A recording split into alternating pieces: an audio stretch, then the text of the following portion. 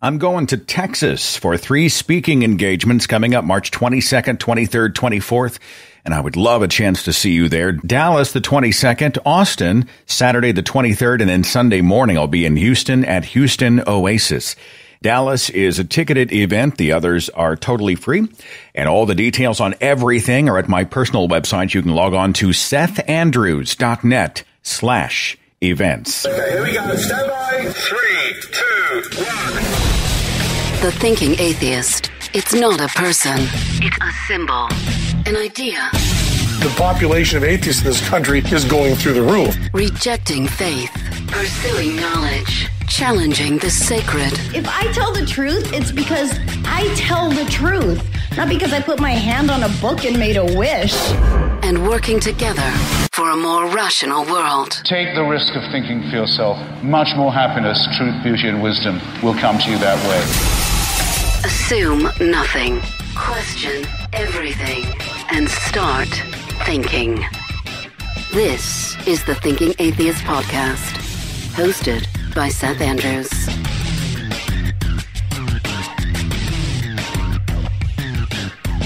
Never stop learning. Really. I mean, never stop discovering new things and enhancing your knowledge base. That's why I love the Great Courses Plus, and I'm so glad they're a sponsor of this broadcast because they have thousands of lectures on a huge variety of topics that just stream right to me, right into my life, whether I'm watching videos on my computer or listening to the podcast version in my car. So many subjects, so many categories, everything from brain science to emergency medicine to learning how to speak Spanish to how to cook or different cooking dishes, playing the piano. Lately, I've been enjoying the Skeptic's Guide to Health, Medicine, and the Media. It's a lecture series by Dr. Roy Benaroch and he's talking about the media and its responsibility when it comes to public health. And of course, this is hugely relevant with the big measles outbreaks that have been happening. And that's just one of thousands of options at the Great Courses Plus. And to help get your journey of discovery started, they're offering my listeners a free trial of unlimited access to the entire library.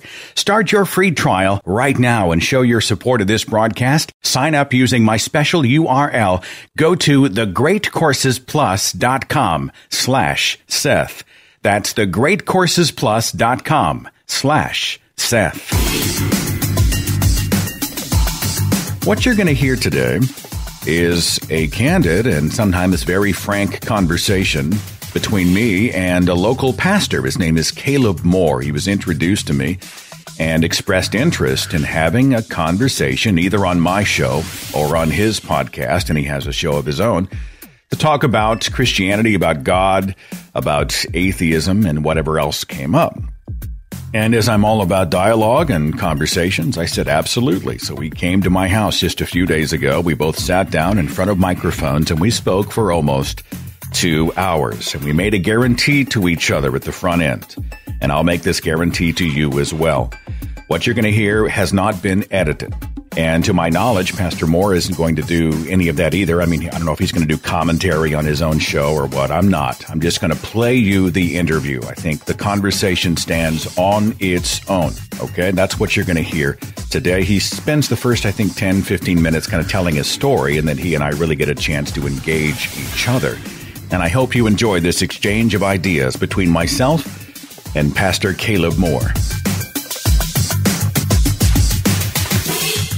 It's interesting, you know, I'm all about conversations. I'm always talking about having conversations and how people who have a disagreement about something that's really even important to them, they should be able to sit in a room and not just hang out, but perhaps even be friendly, be friends.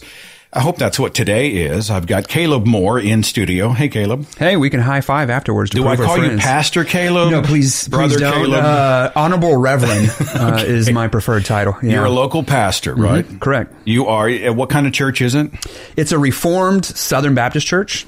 Which, right. For those yeah. who are thinking, what's a Reformed Southern Baptist church? So we kind of took the things we liked about Southern Baptist, but trimmed the fat. So we don't have a lot of the traditions that maybe people who grew up Southern Baptist might have. So we don't think dancing is of the devil. You can play cards, right? Things like that that maybe I was brought up to. So we're we're always trying to get back to what Scripture actually says and forget about some of these man-made traditions that we might have invented. So you've got some like alcohol in the communion glasses? That Uh, of. maybe in the cabinets at home. Yeah. okay, all right. The, the main reason is because we have a lot of recovering addicts that come. So not that we're opposed to. I was making a joke, you right? Because no, I was raised in Yeah. kind of a Puritan family where Yeah. a beer in the fridge, they'd have an intervention scheduled, you know, tonight. Oh, yes. right? Uh, it's one of the great many vices that we were warned against. It's a, a gateway to greater sins and disobedience in the eyes of man and God, right? One of uh, the great jokes in Baptist circles is if you take a Baptist fishing, only, only take uh, never take one because if you take one, he'll drink all your beer. You need the second one to guilt him into not drinking. So The one I heard was if, uh, let's see, the Reformed Baptists don't recognize the Southern Baptists in church, and the Southern Baptists don't recognize each other at a bar. and I always thought that was interesting. yeah, So- you, you can tell those who grew up in the Southern Baptist when you're at the grocery store and they try to hide what's in their cart. So they just kind of hide it behind their back. Oh, hey, preacher. And- I'm yeah. interested in in you know how the Baptist Church has evolved. It's going through its own problems right now with the expose of sexual abuse within the church, which is you know something in the Catholic Church has been going on has had going on for a long, long time, and and um, but as far as culturally, you know, the frozen chosen model is sort of given way to this. I don't know. It's, it's not necessarily a life church model, but you know what I mean? It's contemporary. The pastors have tattoos. Right. Yes. As you do. Yeah, yeah. Right. Correct. I mean, you've seen, is this uh, an appeal to younger people? What do you think explains that? There's a, a lot of it. I see the message uh, watered down basically because people aren't just ignorant about scripture, uh, people are just ignorant in general. So the church has reflected that we're too afraid to, you know, we almost protect them from their Bible a little bit. So everything is going to be, hey, here's just basic kindergarten level stuff, and we're going to rehash that to you, but we'll make it more exciting this way. So laser lights, rock band. So we're going to rehash it to where it's more exciting, but it's just the same thing you learned in kindergarten because we don't think you can handle the depth. And I think postmodernism plays a little bit of a role into that where we've elevated emotions extremely high, and that's infiltrated evangelism. We talking about the motivational speaker kind of evangelism. Yeah, you are yeah. somebody, Yeah. you know, happy, clappy, go be a success today, Joel Osteen type stuff, if I may. That, yeah. And the interesting thing of, of where we're from in Tulsa is like the prosperity gospel came from here, right? You know, it gets its origination very much from Oral Roberts and Rhema. And so a lot of that has that same influence of God wants to make you happy. He's going to make you rich. He's going to give you the nice car. Don't you worry. You know, he's on your team. So he's going to give you all the stuff that your earthly heart desires. And, and he's going to start with me. Right. Yeah. Yeah. it, it does. It works its way up, doesn't it? It's amazing those pyramid schemes. How the top guys, it works. So you're cynical about, not say cynical, skeptical No. about Yeah. The name it and claim it kind of prosperity teachings. I think that's what we would have in common. Is I feel like I'm a skeptic when I. Uh, my main, I, I used to kind of swim in these Christian atheist circles a lot, but I'm, you know, it's good to be here because it kind of reignites my brain in that way. But my arena for the last probably eight years has been Mormonism, where I go to Salt Lake and I train churches to engage them. And a question I just asked to LDS, uh, which they like to be called Latter day Saints, at uh, the mall the other day, the first thing I asked, I said, Hey, were you brought up Mormon? And they said, Yeah. I says, Don't you think it's a coincidence that the faith you believe to be true is the one you were brought up in? And I think every Christian should ask himself that same question. Like, of course you believe it's true. It's what you were brought up to believe. How convenient, right? And if they've never had that introspection and that self reflection, I think they've done themselves a disservice. Because I was like, how are you going to evangelize me and tell me what I believe is incorrect if you haven't analyzed to say, was even what I believe correct. It's like you're just kind of maybe living off of the scraps of your parents' faith, and they told you, and you trust your parents, and they're nice people, so you just go, okay. Well, let's unpack that here in just a 2nd Mm-hmm. But tell me about what you came out of. Were your parents religious? Yes, uh, very much so, and we probably had somewhat of a similar upbringing. Um, my what dad, flavor of religion, if I may? Uh, was Southern Baptist. So my dad was a youth pastor and associate pastor at the largest church in Tulsa at the time. He was there on staff for 15 years. And can I just kind of tell my little story here? Absolutely. into Go ahead. Yeah. Um, so I grew up in that environment, and what I saw, I, I liked it. My friends were there, but I, I never really cared much for the lessons. I, I was like, okay, I know David and Goliath, but I didn't know the Bible. And I didn't really feel like people were actually trying to teach me the Bible. It was just here's a story, here's a story, here's a story. But what I would see at home was was my family interacting with all the difficult people that were on staff. Oh, so and so said did this. So and so is having an affair. This is happening. This is happening. I was like, well, these sound like awful people. I'm like, so I don't know why you're invested in this. They don't seem to be decent human beings. My senior year, my parents gave me the option. Like they always wanted me to go to what we call quote unquote big church, right? Which is a Sunday morning, 1030. But Sunday school was an option. I was old enough to drive. So I would drive myself to Sunday school and I had lots of questions. How do I know this is true? How do I know God's even real? Can I believe any of this? I mean, you're telling me a teenage girl got pregnant by a ghost and gave birth to God, right? And I'm skeptical of that. Every conversation with my brother who prepared me was a debate. I was like, I like this movie. He says, you need to give me five reasons why it's a good movie. And if I couldn't do it, he says, well, it's not really a good movie. so, so I, I began to look at religion that way. And I noticed when I would raise my hand and I would say, how do you know God is real? The de facto answer was have faith. You just need to have faith. And to give them credit, they thought that was a good answer. Like it, was from the heart and they really meant it. They had faith, but I didn't have it. So I didn't know what they meant by that. And it felt like a cop out answer to me. So one Sunday morning, as I'm sitting there and I'm listening, the way it was structured is we would sit in a big group all in a circle and then we would break out into these smaller groups. Well, the big group was supposed to be the main teaching. In the small group, we were supposed to discuss it. But uh, the Sunday school teacher was a lawyer and he loved NASCAR. So for the first 30, 40 minutes, he would discuss NASCAR, talk to the other people. Oh, I went to this race and we saw this and there was a wreck. And one day I just raised my hand and I says, um, I don't think God gives a rip about your stupid NASCAR. And he says, I think you need to come sit by me. I says, no, I'm out. I'm done. And so I left church and my, to my dad's credit, he's like, yeah, I would have left too. It's, it's totally okay that you left. That's not what they're supposed to be doing. Here's a youth pastor I want you to go meet. This guy, he's, he's smart. He's intelligent. I think he can answer your questions. And he began to kind of attempt to answer some of my questions, but it really took me under his wing and helped me mature and grow. He encouraged me to go on this mission trip. And I'm in Grindelwald, Switzerland, at the bottom of the Eiger Mountain. You're old enough to remember maybe the Eiger Sanction, which is a Clint Eastwood yeah. movie, right? I'm right there. It's beautiful. It's easy to believe in God when you're staring at those mountains.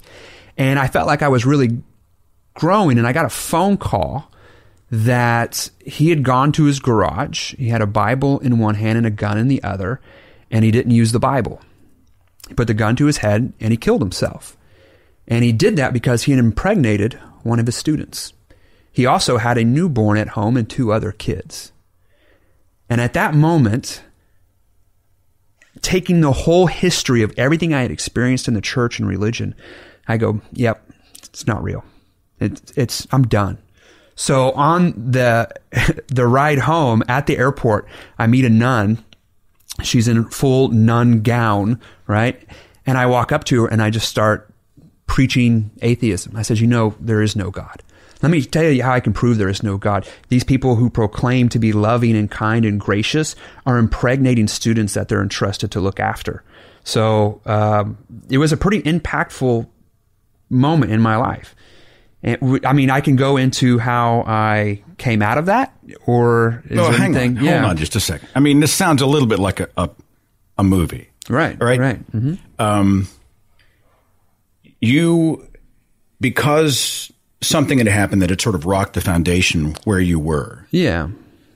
You had come to a point of disbelief in all of the tenets of Christianity. You just threw it all out. Yeah, yeah. I was gone. This guy killed Mm-hmm. himself in his garage. I looked up to him. He was my mentor. Right. My world is shattered. My illusions have been shattered. Mm-hmm. Screw this. And I'm an atheist. And immediately you start accosting people and telling them that there is no God. Yeah, there was a lady there, and I was like, I can't believe she's dedicating her whole life and she's going to forego ever finding a husband or anything like that. Yeah. So I was telling her my story. I was like, hey, I've been questioning this. Have you ever questioned it? Um, I've always been pretty comfortable with, I don't want to call it confrontation, but I'm like, I get it. You're not yeah, shy. like, You yeah, go not, through and I'm have the a- discussions. Sure. Not a bashful person. Well, if um, you were to, and we can talk about how Mm-hmm. you found God or how you rediscovered your faith or however want to frame. I'll let you frame it any way Right, you right. want. Yeah, for sure. But um, Do you consider yourself a person of faith? Are you? Do you embrace faith? Yeah, absolutely. Yeah, and I, I don't think uh, I don't put faith. Uh, of course, it can be a negative, but I don't think it's always a negative. Define it. I mean, how do you define faith in your heart? Um, faith for me would be something taking um, belief in the future based upon what God has done in the past. So um, I always compare it to my relationship with my wife. That is the most loving relationship that I know outside of God. And much of that relationship is based on a faith, you know, because I'm, I stood there about 10 years ago and I proclaimed that I'm going to love her forever. I'd only known her for less than a year. Uh, I, I proposed after six months. And it begins with an initial emotion. Like I have this overwhelming feeling of love. And, uh, but I had had that before, right? I'd been in other relationships. I've been in love before, but I was making this decision that I didn't have concrete evidence was going to work out. But based upon what I had seen in the past, I believed it would.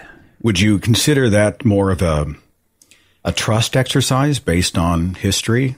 I mean, your expectation was informed by the fact that you had been close, that you had fallen in love, Yeah. that you had seen her act and react. You had already known each other in a lot of ways. Granted, you don't really know somebody till you know them. Right, right. Until you get married and you share that space, you do all that stuff. But I mean, it isn't blind faith that you had. You're not mm-hmm. like, well, it's all just going to work out because I believe it will. You had real knowledge about who she was, how she acted, what her character was like. Does she tell the truth? Is she trustworthy? Does she genuinely love me through thick and thin? Those things were realities in your life that informed mm-hmm.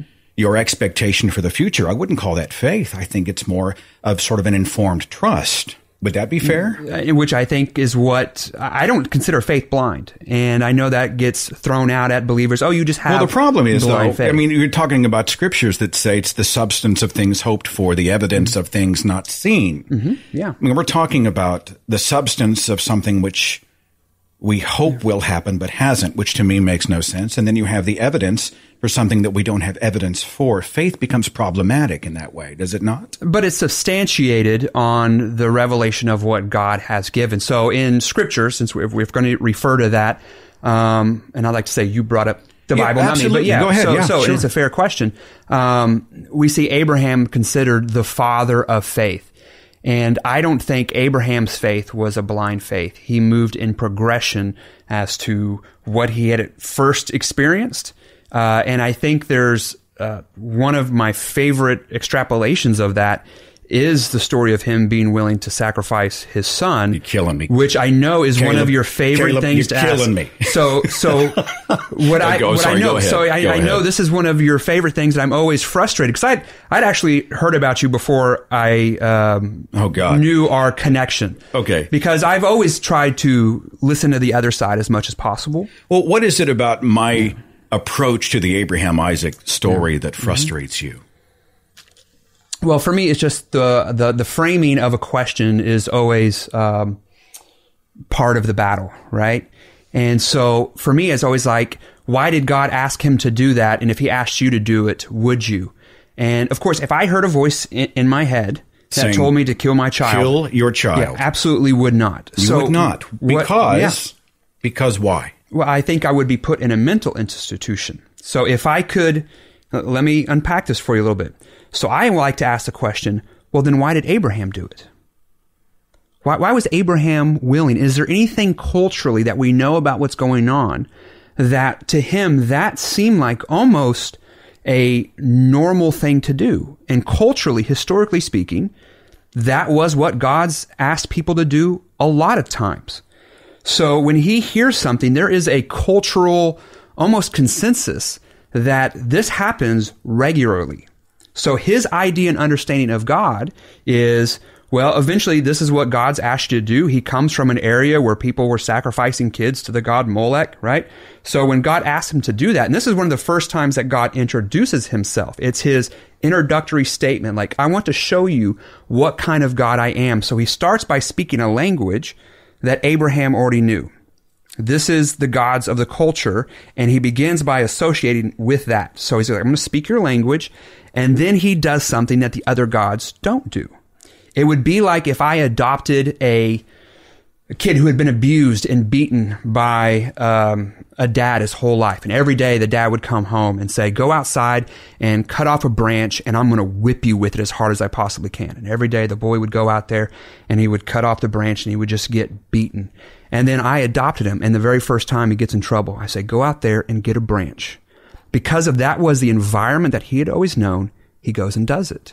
And then when he comes inside, instead of beating him, I say, let me take that from you and let me show you what love is. I'm different than what you've always known. Okay. Well, I'm in a weird position as host because uh, we're, we're sort of splitting this Yeah, we're broadcast, kinda right? co-hosting, so, so yeah. I, I, I don't want to dominate, but at the same time, I want to make sure that, that you don't ever feel like I'm interrupting too much. No. But I hear specific things that I'm like, hang on just a second. I want to unpack that and this Right, and that yeah, and this. All right. So you sound like an apologist, which makes sense because you have done a lot of apologetics. Right. When you say that a moral deity, and we're we're already presupposing that Abraham's a real guy, and I'm not even prepared to go Yeah, there. yeah, Right. okay. Who wrote the books of the Bible that talk about Abraham? We haven't even gotten into all of that. Of course. But let's, for the sake of this discussion, presuppose that, okay, it happened and he was a real dude. Right. God says, as a faith exercise, you need to sacrifice your child, human sacrifice in my honor, essentially, mm-hmm. or as a, an obedient act unto me. Right. You're okay with that. I have to ask you, are Yeah. you okay with that? Yeah, I, I'm, I'm okay How does what- a moral person become okay with that, right? Yeah, I'm okay uh, because, like, in how I just explained. Well, you're saying if it's it an- was a barbaric time. yeah, it's an exercise, right? So, It's- but if it's, a barbaric time, right, it doesn't mean that God has to stoop down to the level of the barbarian in order to relate. I mean, he's God. He can make himself aware, make himself known. He- and honestly, knowing everything at all times, he already knew Right. the type of faith that Abraham had. The exercise itself makes no sense to me. And it makes no sense to a lot of people morally who think the God of human sacrifice is, is not the God of goodness that they're trying to sell us from the pulpits. Right. That becomes problematic from a moral point of view. Uh, I think it's a brilliant teaching moment. And so, as if I was to use that as the illustration I gave for if a kid comes and says, um, you know, go cut the branch off, because I know what's going to happen. I don't think it's immoral of me to do that exercise because what I'm trying to illustrate is the drastic difference. If it's an illustration that they're already willing to do because they're uh, culturally understanding that that's typical, I don't think it's wrong for him to enter into time and space and to use the language of the culture as a teaching moment. What was he teaching Abraham by telling him off your kid?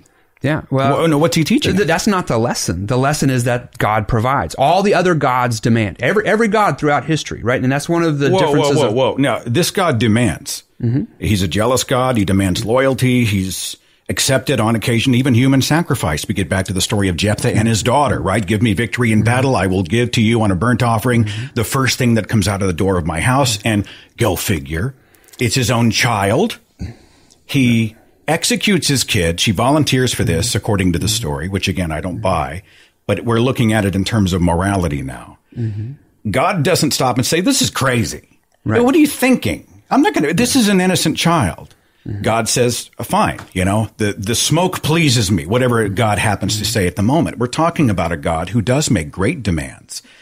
And, you know, he has, especially in the Old Testament, but since Jesus is the same yesterday, today, and forever, and Jesus and God are essentially the same cat, right? Mm-hmm. We are talking about a God that is, you know, territorial and jealous and mm-hmm. has very strict guidelines as to how he wants to be served and honored. And so, yeah, he provides, but he provides with a tremendous number of conditions according to the Bible. Well, Yes? and, and according and according to Scripture, all those demands are met in Jesus. So let, let me take a, a time out here because I don't want to put the apologist hat on, right? Okay. Because Well, there would I, I be don't, like, I don't okay, mind. me- I- yeah, yeah. If, it, if it's if it's an argument that you find is a legitimate one and it happens to fall under the uh, apologetics umbrella, let's talk about it. Well, it does fall under the apologetics uh, umbrella, but then there's all these presuppositions, like you talked about, that I think are more at the core than just where I mean, because if if I was to do the typical apologetic thing, and then there's like eight things, there's you know the shotgun of information. Look at all these evils.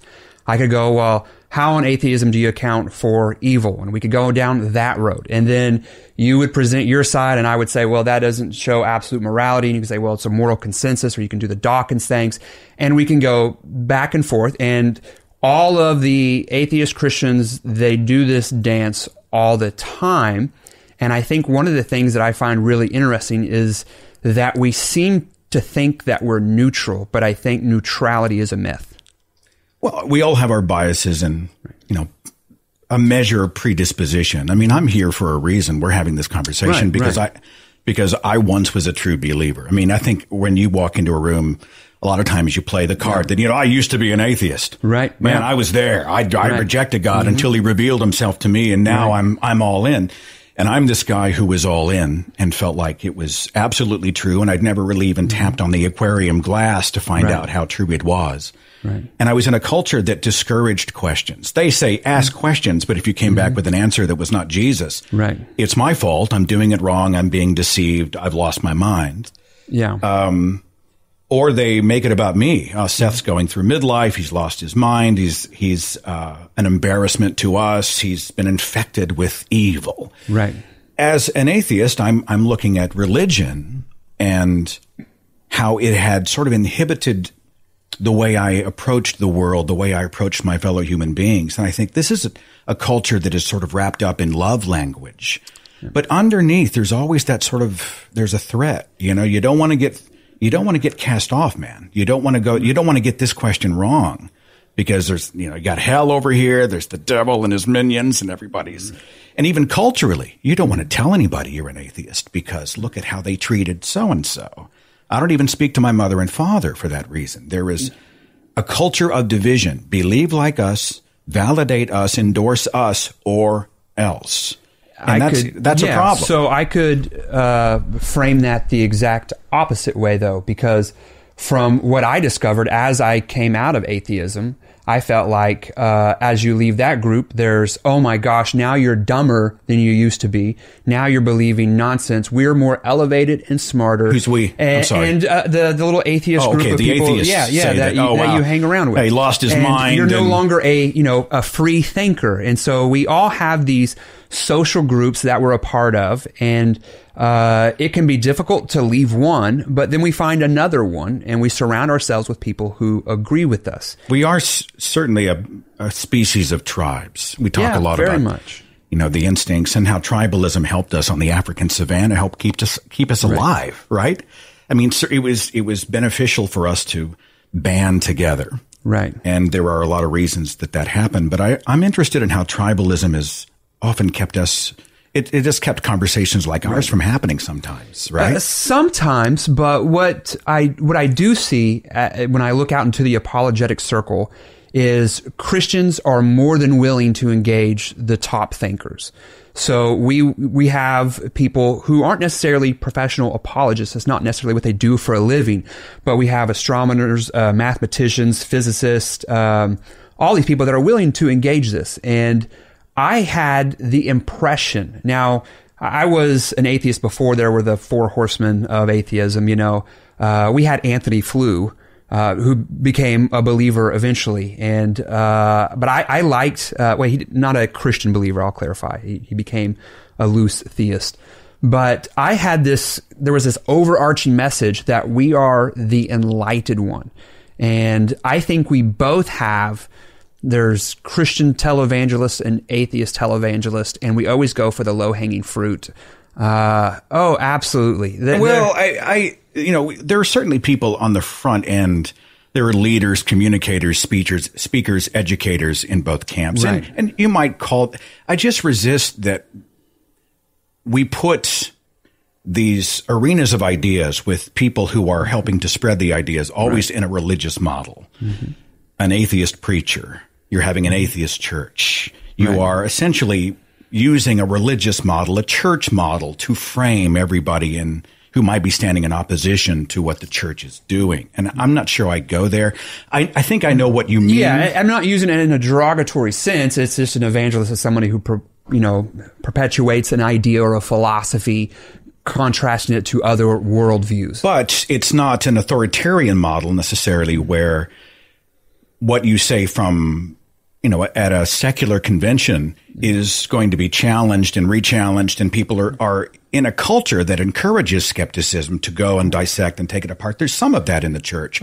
But the authoritarian model in the church to look up to a shepherd as a member of the flock, to follow their leadership, that's a lot more prevalent in religious circles. I think it's just as prevalent in atheism. I heard Dan Barker um, not too long ago, and he's addressing the crowd. He says, "Come on, you are smart people. You all know this. If you're smart, you know this, right?" And he's talking about everybody knows there's no God, and he's speaking very, you know, authoritarian. You just know this intuitively. You know no, there's that no sound God. like Dan Barker. Yeah, Uh, yeah. he's a buddy of mine. Yeah. To say everybody to tell everybody else what they know. Yeah, absolutely. I've heard him say that you know all you have to do is walk into a children's hospital Mm-hmm. to know that there is no God, and you know I think the argument from needless suffering, or what some people call the argument from evil, is a Right. It's a pretty good argument. It's certainly not a complete one. Right. Um, Which I think is from the atheist perspective. I think the problem with evil is one of the most difficult ones for believers to wrestle with. And what I would like to see is people more engage in that argument in a deeper philosophical form instead of just going, see, because there's sick kid in the hospital, there is no God. Well, there's great people who have wrestled with those ideas. They're intelligent, they're thoughtful, they're consistent, but yet they haven't made this leap to atheism. And so it, it I don't, I, I know it's something that should be wrestled with, and it's okay for Christians to say, I don't know. We can talk about the argument itself, though. I think isn't it a meritorious argument to say that if you know you saw your one of your mm-hmm. children who was suffering, mm-hmm. and you had the power to intervene and and mm-hmm. heal, to save, to rescue, to prevent violence against them, to do something positive, to intervene. Yeah. You as a moral creature are right there. right? And yet, our standard for God is to defer and say, ah, you know, whatever he wants to do is what he wants to do. And so, if my child dies of leukemia, Mm-hmm. or if a tsunami kills 250,000 people, or on a planet that's supposedly designed for us, if any of these horrible things happen in the world, you know, I see believers as they have a get out of jail free card. Now, hear me for just a second and then come after me if you'd like. No, okay? sure, sure. But uh, let's say that I had a child and my mm-hmm. child is in a car accident, right? Mm-hmm. Terrible accident. When I was religious, I had a get out of jail free card. I had an mm-hmm. absolute perfect, mm-hmm. silly putty, moldable mm-hmm. answer for whatever the outcome was. If the child escapes with no injury, it's a miracle. He should be dead. If he escapes with scratches, it's a miracle. It should have been worse. If he's paralyzed from the waist down, at least he's alive. God must have more for him to do. And if he dies, God called him home to a better place where there are no car accidents, there is no pain, and one day we'll be mm-hmm. reunited together. So they've created this ever moving goalpost where no mm-hmm. matter what the outcome is, no one mm-hmm. ever stops to think, why would a God who had mattered, who had taken a moment to count the hairs on my head, not tell me to turn right instead of left or not prevent this particular vehicle, this drunk driver from flying through the intersection or why wouldn't he have created some sort of a warning system for me to keep me safe? Mm-hmm. Why am I operating in a world that seems to operate only by natural laws with no mm-hmm. supernatural mm-hmm. intervention? I grow frustrated because the, those ever moving goalposts make it nearly impossible to pin down a God who is supposedly a protector parent. How would you respond to that? Well, it depends on the situation, and I, I don't want to take lightly because these are very real situations that I've been a part of. Yeah. Right? I've done funerals for little kids. I got asked to do a funeral today. That's terrible. I can't Um, imagine. Uh, I was visiting with a guy at my church this morning who works at the NICU, and they lost a kid that was just born. Um, the heart was fully formed, but the lungs weren't. And the eyes, the brain was fully functioning. And as the child was passing away, it was registering its parents. And he's a believer, and so was the father, and neither of them stopped being believers afterwards. So, I mean, like the reality of these situations are one we use for argumentation, but they're it's a gut wrenching reality. I've lost a child. oh, I'm so, I'm so sorry. No, I, it's, I didn't, Trust I didn't me, it doesn't. It, you know, realize that when I asked the but question. I don't, I don't throw that out there as sympathy. I don't want to answer the question. It's just a reality where I, as a believer, I mean, I'm a preacher. God, I get, I get first. You know, like you owe me, right? I work for you, and I, you know, you should fix this situation. And so these are things that we wrestle with on a very real, but also very intellectual thing. I don't, I have no time for fairy tales and I don't want to scapegoat answers. And so as I've wrestled with it personally, if you allow me to tell just a, a short story to illustrate something that I don't necessarily understand, and then I'll give you the apologetic. Okay. So I'll kind of give you my defense. I was at a church and there was a woman who was dying of cancer. Her uh, kids were about to get married. She hadn't been well enough to come to church. She came for one last Sunday wearing a bandana over her head to cover her bald head. And she's talking about how her relationship with God has been infected by this disease. And uh, she said, very honestly, very sincerely, having to take lots of breaks to drink water because her mouth was dry from medication. She says, I've come to know God so much through this that if I had the option to go back and not get cancer, I wouldn't do it because the value of knowing Him is greater than my sickness. And I said, I don't get that. So that that's the story. I I I heard that and I go, no, I would always go back. Now, before you interject, so the apologetic of it, as I was talking with this guy who just saw a child pass away today, I says, how do you maintain any kind of faith in that? And we began to have a discussion about the moral goodness of God. I say, if you had, I use the exact same argument you used. I says, if God has the ability to stop it, why doesn't he? And because his power is so supreme, because he could not only interject in that, he could interject in any evil. Where do we draw the line then? I say, okay, if you're going to um, save this baby, then save all babies. If you're going to protect them from this sickness, then you have to protect them from any harm. If you're going to protect them from any harm, any misdeed, you have to protect them from any misdeed, protect them from any bad thought. You have total power, so take total control, and all of a sudden you remove the free will. No, you don't. Sure. No, you don't. Sure. You're going to have to draw the line, and you're going to say, God, I want you to draw the line with my child but don't draw the line with any other situation where evil might have or sickness or badness. It's I'm going to because it's our personal child. Of course, we want him to intervene, right? I, I just don't buy it. it let, let, me tell you why. Um, first of all, you know, I'm speaking. I think we're speaking about the same God. You know, whatever you ask in my name, I will do it that the Father might be glorified in the Son. I mean, God is a God of miracles. God is a God of answered prayer. If you believe the New Testament, mm-hmm. You believe that Jesus walked around healing all kinds of maladies. He even mm-hmm. raised the dead, right? right? And so the idea that he would make a promise to us that, you know, if we come together that, that, mm-hmm. and petition him that he will be mm-hmm. there for us in our hour of need right. and then to leave us scrambling right. and wondering where he is, that for me becomes hugely problematic. And again, we're presupposing the existence of Jesus. Right, right yeah. I'm not saying I'm a Jesus mythicist necessarily. There may have been a guy that I think the story was based on. But I, I have, uh, I have an interesting time trying to reconcile the God who is so concerned about us that we are worth more than the sparrows that might fall from the sky, mm-hmm. But will allow a mother to carry a child for nine months and then lose it in the delivery room, mm-hmm. and then we still give God the glory. Mm-hmm. This to me reeks of a kind of slavery, I think emotional and intellectual slavery. And many people are lauded for this. You know, nothing broke my faith Nothing caused me right. to doubt. I was raised in a culture where doubt is either a sin, it's weakness, or an attack. I mean, we don't raise our kids which is weird because uh, we we we share. You know, we shared uh, a book when you were a believer. We had the Bible. I have the Bible, and the Bible doesn't condemn doubt. It, in fact, it tells us to test everything. Come, let us reason together. But, but if I may, I mean, not to interrupt, but you know, when Jesus is chastising uh, Thomas, he says, you know, the one who doubts is like the wave of the sea that's blown and tossed by the wind. That person shouldn't expect to receive anything from the Lord. I mean, mm-hmm. he was chastising Thomas mm-hmm. for saying, look, I'm going to need to see some nail holes and I'm going to need to see the spear. Mm-hmm. I need some evidence that it's really you. Actually, Thomas, for that reason, is my favorite disciple because he's like, I need some peer review on this reappearance of you, yeah. dude.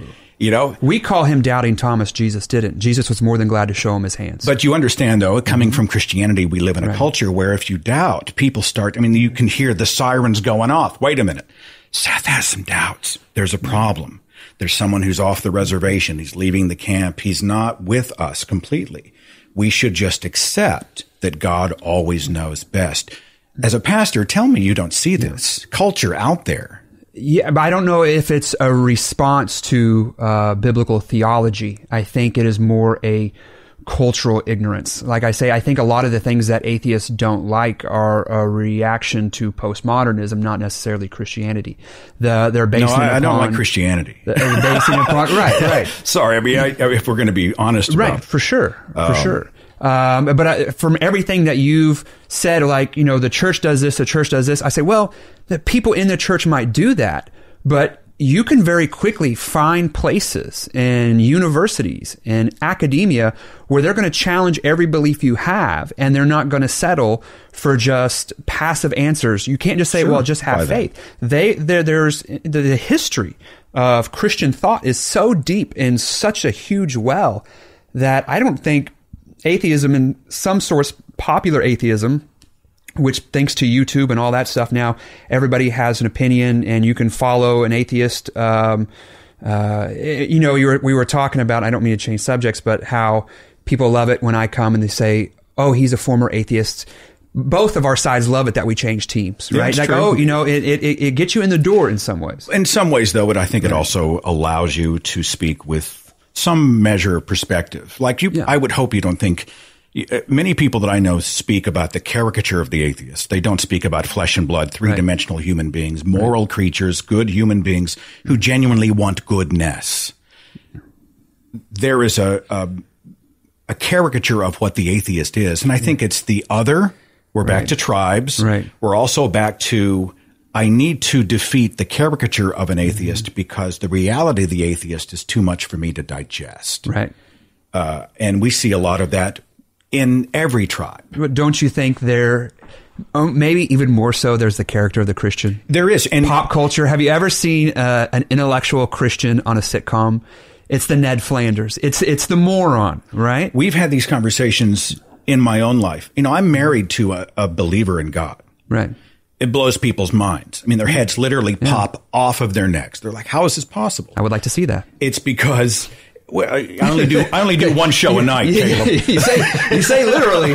You say literally. the idea that I would see her first as a flesh and blood human being who mm-hmm. is beautiful and someone I want to be with and someone who lights up my life. Right. I don't love her because she agrees with me. I love her because she's a beautiful human being. Right. And I think, you know, it's it's hard to see and this is true in atheist circles as well, that it's a it's a conversation we've often had on my radio show that you know, I wasn't an idiot when I was a believer. Right. You know, I wasn't all these pieces of invective that you're throwing out. I wasn't a bad human being when I was a believer. My IQ didn't change one way or the other when I was a believer. These are, we're talking about ideas. Yeah. And I wish we could start talking to each other and treating each other like human beings. I don't have to be like you or agree with you to necessarily connect with you as part of the human experience. Right.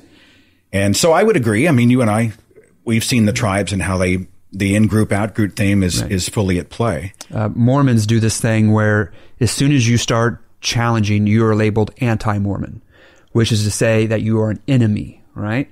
And Christians are often labeled anti-science, as though Christians and Sir Francis Bacon didn't play a major role in helping form the foundation of what we know as science, as though we will go to Ken Ham, who I would chastise along with you, right? You, you go to the Ark and there's dinosaurs in there. That is a segment of Christian thinking. And there's a lot of times I think Christians are harder on Christians than even atheists are because there are aspects that should be go, wait a minute, guys. Um, we don't have to believe the world is, you know, five, 6,000 years old. There's a range of thought. And in atheism, there's a range of thought. I haven't asked if you're a naturalistic atheist, and, and I go, well, if there's only matter, how do we know that you and I or even have the free will to have this discussion? We're just, you know, like we, there's, there's segments, and I would like to see atheists, when they talk about Christians, talk about the, those who have asked themselves the difficult questions. Well, you know, just because a scientist happens to be religious doesn't validate a religious argument. I mean, you know, we find people who are atheists, but they're not atheists for rational reasons. They Right. never, Mhm. they Right. never explored it. They assumed that there was no God. They were raised by atheist parents. It was never a thing in their lives. They, have never been indoctrinated. None Right. of those things come into play. So, Right. you know, hey, look, we have scientist X, we have Francis Collins. I mean, that's Right. not really an argument as much as it is. Well, we, it probably is an argument for it's wrong to say that people are stupid because they are religious, because we know Right. that's not the case. We know that there are, uh, there were wonderful Christians and terrible Christians. There are wonderful atheists and there are terrible atheists. There are wonderful human beings across the spectrum and terrible human beings across the spectrum. I need to come back to a couple of things. By the way, this is a tandem broadcast. Right. Pastor Caleb Moore, Seth Andrews, the resident heathen. I keep waiting for the altar call. Well, I haven't seen one yet. Wait till the end. Okay. All right. Okay. Um, Invitation and the plate will, plate will be passed. when I was talking about the culture of people in the church who do this or do that, I was still rooting it though in the scriptures. I was rooting it in the idea that, you know, D- Jesus wasn't kind to doubters in the Bible.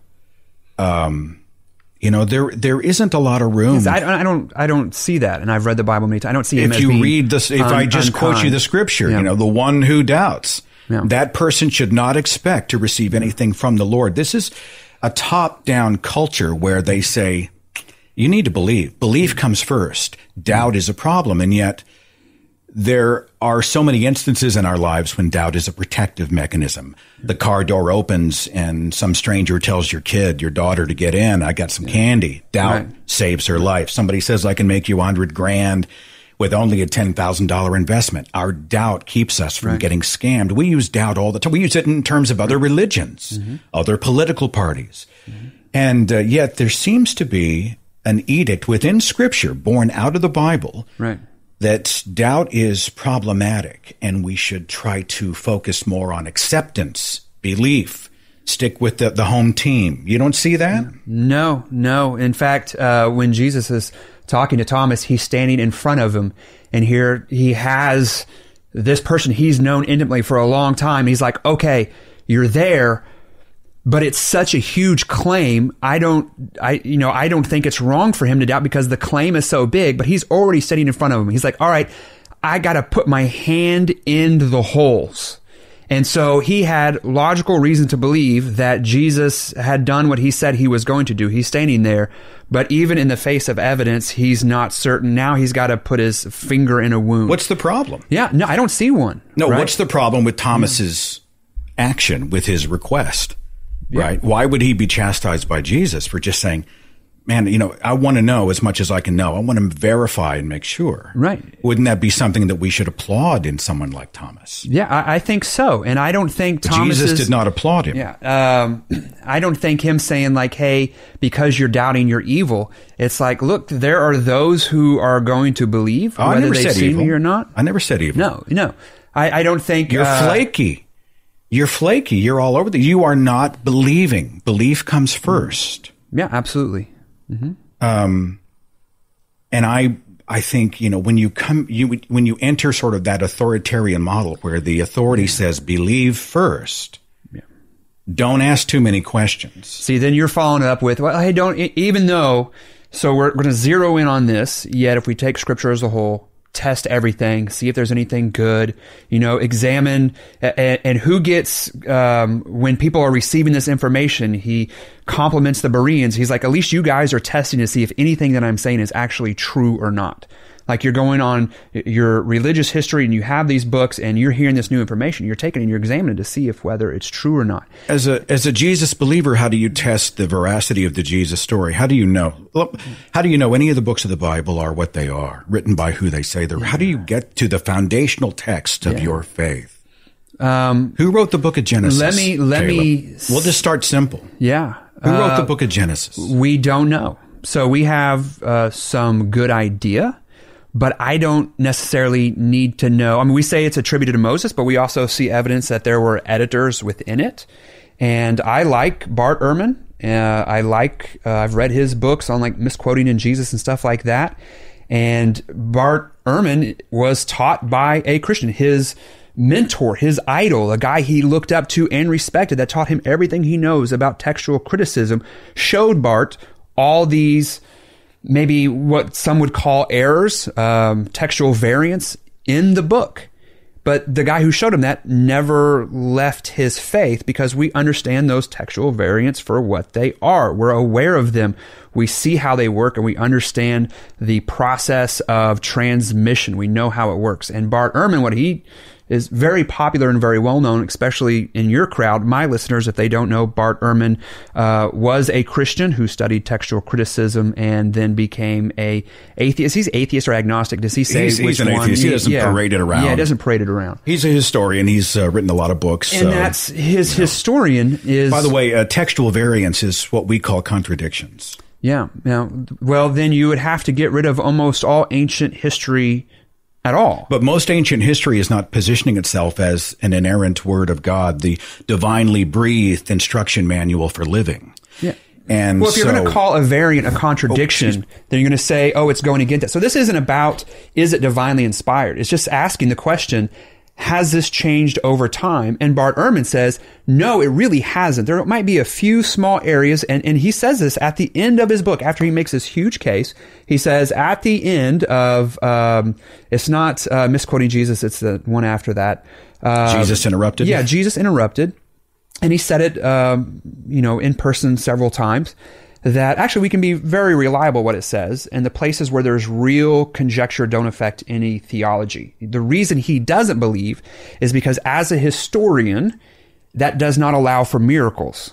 He says because his field is a historian and historians can't account uh, for miracles, so I don't believe in miracles. But he will at least say that scripture has not been changed over time, especially in any area that would affect theology. Which- so that's not a contradiction. That that's a misuse of the words there. Well, if if because the Bible, I don't think he rejects it because it cannot account for miracles. I think he just doesn't buy it.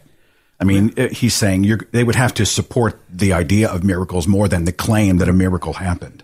But if you get into even the first two books of the book of Genesis, the order of creation, these are contradictory stories. There were four different conflicting accounts of of uh, Jesus's tomb, his empty tomb. I mean, if we get into the basics of, of biblical claims, what I often hear from apologists is, well, it's like reporting. Everybody brought a different perspective and it was all written down. And sure, I mean, some of the stuff looks different, but it's because they were looking at it from different angles. And none of the really important stuff contradicts itself. And I always come back to this idea that a divine creature would give this critical message and place it in the hands of the same species that screwed up everything else in the world. And we would end up now in the year 2019 with literally thousands of different variations of a faith that is born of a God who supposedly is not the author of confusion. I mean, can you think of any religion more confusing than Christianity in the present day? Atheism. Atheism So- is simply so, the yes, disbelief in yes. gods. It is not a religious claim. It is a worldview because you It can is pass not. it on to your children. It- it is not. Think about atheism. Daddy, If- where did the world come from? N- It didn't come from anywhere. No, no, no. We're not even sure if you actually exist. We- you could be a figment of our imagination. we- Hold on. So let me answer. No, no, no. I'm not, you can't. You Right. cannot throw out atheism as a religion and allow me to. I've been very generous. Okay. The idea that someone walks in and makes a positive claim, and I say I'm not convinced, is not in itself a dogma. It's like I'm. I'm not convinced. It doesn't make any suppositions about how the world began or whether or not I think there was aliens or whether there's a singularity or it, it says nothing else. It doesn't even say whether I came to a non-belief in deities rationally. It's simply, it's not making a positive declarative statement. God cannot exist. There, there never was a God. I'm, I'm saying I'm just not convinced. I do not believe it. I am an atheist. It's not a dogma. It's simply a disbelief. And I, I say that on purpose because I know it riles the feathers a little bit. It does. It does. It's just because And I hear it a lot of times from apologists. So Right. forgive me. It's a bit of a hot button. Right, of course. But I'll stand back and, and let you because I was thinking about, I, I was thinking about that, um, and I, I want to get to the textual thing right after this. Okay. but if somebody is an atheist and their kid comes to them and starts asking questions, and the, and the person says, "I don't think there's very good evidence for it," they have already put in that kid's mind where the weight, like what the, how good the evidence might be right? So they've already said the evidence isn't very good. That is a propagation of a worldview. so Well, you cannot- atheism in itself may not be a religion or a worldview as just a simple statement, but it quickly can become one. Short break. When I come back, it's more with Pastor Caleb Moore. Going to talk about Genesis, the book of Genesis, as poetry. We're going to talk about why Caleb thinks that ethical behavior by non believers in Christ is a kind of moral plagiarism. Those are his words. We're going to do a little street epistemology with the Bible. And while we're having religious debates, I ask Pastor Caleb Moore about Marvel versus DC. All that and a whole lot more in just a second. Hang on.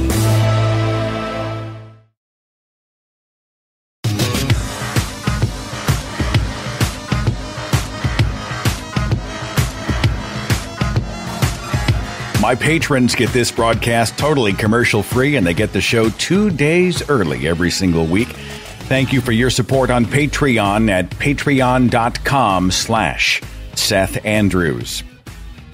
This is the second half of my conversation with local pastor Caleb Moore. We were talking about an atheist worldview and the ability or impossibility of being able to raise kids without predisposing them to our views, our biases, our way of seeing the world. If we, I buy that you can certainly predispose Anything or you can indoctrinate loads. your children with. and you be- can do this with politics. You can do it with whether Right. I'm going to buy Ford or Chevy. Right. I mean, I get that, but I think the difference might be, and we've done several shows on secular parenting. Right. How do I keep from dogmatically informing what my kid thinks? And you know, I want to teach them to look both ways before I, they cross the street. I want to teach them not to talk to strangers, and I want to teach them not to do this to keep them safe. Mm-hmm. I want to teach them to say please and thank you. Right. Right. But I don't want to tell them what they philosophically or even theologically feel about the world. How do I avoid that? And it's it's definitely a minefield. But there's a difference between the culture that I was raised in, where this is true. Jesus is real. And this is just the way it is, which is how many fundamentalist religious homes are. This is what you think, right? This is my religion. My parents decided, is how the meme goes. And there's a difference between that and saying to a child, this is kind of how I feel and think about it. This is how I fall. I think you're going to have to determine for yourself. Now, this is imperfect, which is sometimes the perfect is the enemy of the good. But to then create a critical thinking process where the child becomes an agent of discovery in his or her world so that you aren't just spoon feeding your worldview, but that they're able to go out and have the critical thinking tools to discern and decide and discover and explore and find out who they are, what they think, and why they think it on their own terms. There's a difference between that and sort of spoon feeding Jesus into some young child going to, you know, Sunday morning Sunday school. we all pass on what we think is good and true and right. Now, to the level if it's just berated, don't question this, then I would say that is faulty. In fact, that's why we see a lot of people when they graduate high school, they graduate their parents' faith as well. So they're Well, they to go to college and they're Yeah. introduced to other ideas. they're introduced to other ideas, um, which is a shame that because I believe Christianity is so rich and intellectual that we should introduce people to other ideas. When I took over at this church here, they had a little youth group, and I spent uh, the first couple of weeks just talking about different religions. I said, "Hey, let's look at this religion. Let's look at this religion. Let's let's kind of examine all these things." And I always stress people: you can't survive on your parents' faith. You have to ask the question: Is this what you believe?